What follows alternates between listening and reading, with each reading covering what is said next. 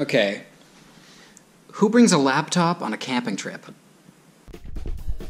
Hey everybody, so after posting that last video about all the stuff I uh, carry around with me, uh, I was asked, what do I do with my bag when I go on a plane, and then what do I do with it when I'm like camping or uh, roaming around the city? So here's how that works. I love this bag, but it's definitely too big to put in an overhead compartment, so it gets checked. But before I check this bag, I take a few key things out. So before I get on a plane, I take all of this out of my green bag and put it inside my nice uh, day pack orange bag over here. And I use that as my carry-on. So essentially what I've got here is my entire vlogging system.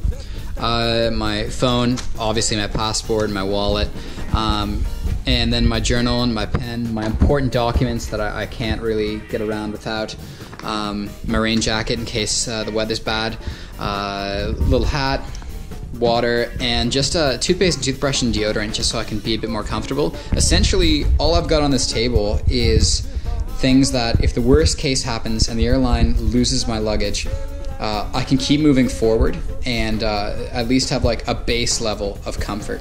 Um, even if I have to buy like all new clothes or uh, you know I lose all my food or whatever, this is enough to keep going. So that goes in my little orange bag, and then I get on the plane. Carrying all this with me on a plane or on a bus also has the added benefit that not only is it safe and with me, but I can get some work done on the ride, so that's pretty handy. There's everything packed up, ready to go. Nice and slim, definitely gonna fit in the overhead. You know, super convenient. When I'm exploring a city, I always try to go to the hostel first.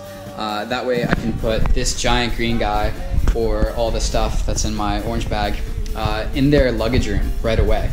Uh, usually they have locks, but not always. Um, I try to put all of this because it's, you know, clearly the more expensive things either behind the desk or in a locker. And uh, then it's pretty much safe and sound and I can go see the city. Most like main stations for like trains and buses and uh, most airports have lockers that you can rent too. Uh, if you're only there for a little while, it makes sense just to lock your stuff up and then go see the city and grab your stuff again if you're only there for a short amount of time. The best case scenario though is to be staying with a friend because then you can put all your stuff in their apartment or their house or wherever they live and then not only is it locked but you can 100% trust that it's going to be safe. My favorite part of this question though is what do I do when I'm camping?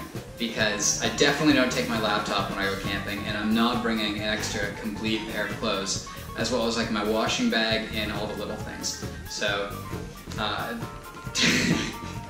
I mean, basically, I just, I bury them. Remember that orange dry sack from the last video I made?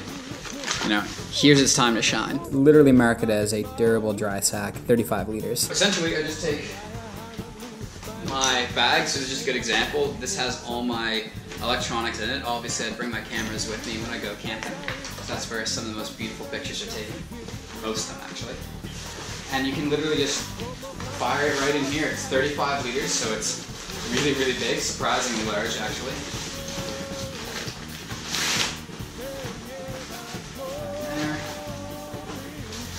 And then I put, you know, whatever clothes I'm not bringing camping in here. It's ironic because I'm stuffing in like my trail pants while I'm wearing my jeans. Usually I'd be doing it the other way around. You know, get your sweater in there. Put your rock climbing shoes in there, sandals. Like there's really a lot of space in here.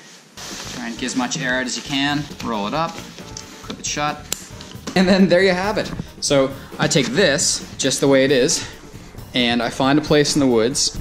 I go somewhere that's like maybe uh, 20 meters in some random direction. Uh, use some kind of landmark that I'm gonna remember to look at, but also nothing that's so interesting that other people are ever going to go there by chance. Then I find some sticks and I put this on top of the sticks in case a bunch of water comes so it doesn't sit in a puddle.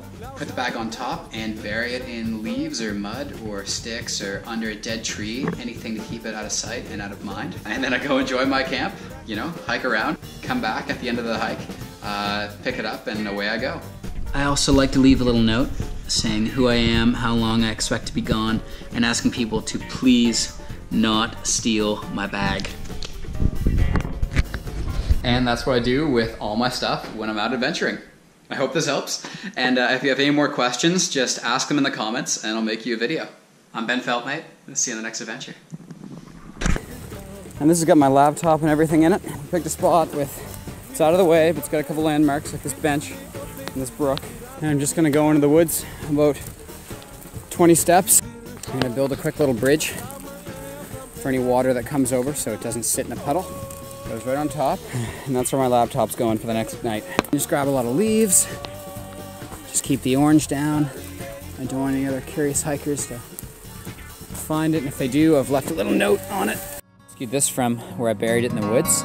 It's uh, marketed as a dry bag. I bought it because it's supposed to be a dry bag.